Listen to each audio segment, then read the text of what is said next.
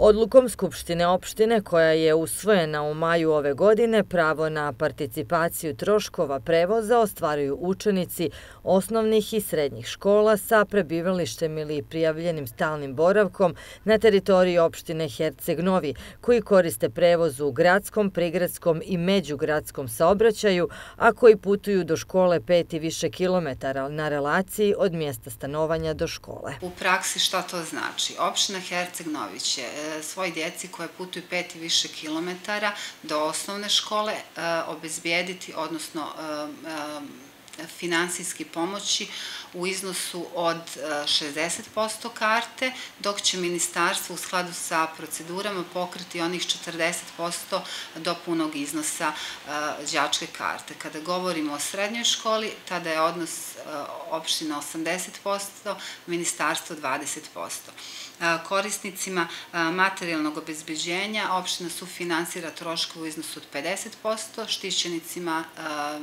Doma Mladost uh, u, uh, u cijelini. Iz Sekretarijata za kulturu i obrazovanje ističu da prilikom donošenja odluke rukovodili su se i konfiguracijom terena u Herceg Novom, pa će određenom broju djece koja putuju od 3 do 5 km opština Herceg Novi pokriti troškove džačke karte koji žive recimo na, na podima, koji žive, evo ovdje ću iščitati, u Zelenici pa putuju do srednje škole Ivan Goran Kovačić, sa pode do matične škole Milan Vuković, iz Baošića Đenovića i Kamenara koji putuju do matične škole Orinski bataljon,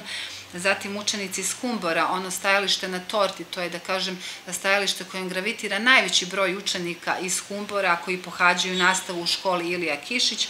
zatim učenici Zelenike koji idu u srednju mešovitu školu Ivan Goran Kovačić i djece sa Sušćepana, Bajkovine i Ratiševe na koje putuju do osnovne škole Dašo Pavičić. Zahtjev koji je dostupan u građanskom birovu i na sajtu www.hercegnovi.me potrebno je uredno popuniti i uz ostalu dokumentaciju predati na građanski biro u zgradi opštine Hercegnovi na šalteru za Sekretarijet za kulturu i obrazovanje. Ja molim roditelje da uredno popune e, zahtjev koji će preuzeti na građanskom birovu sa svim onim podacima koje mi tražimo. Prosto ako nam neki od podataka nedostaje, onda mi imamo problem da dođemo do njih i da tražimo dopunu e, predmeta, a uz dato rešenje mi smo pripremili i ove smjernice koje im jasno kazuju kako da od resornog ministarstva refundiraju taj nedostajeći iznos od 20 ili 40%, tako da radi se o veoma jednostavnim, brzim procedurama i ja vjerujem da je ova odluka zaista na korist naše djece. Rok za predaju dokumentacije do 30. septembra.